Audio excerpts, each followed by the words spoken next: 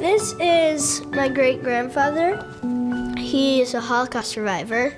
Can you tell me a story about where you're from? I was born in Poland. Very happy life. They say, well, Hitler's coming to you. That was very nasty. The German came in and they took me away. They put this number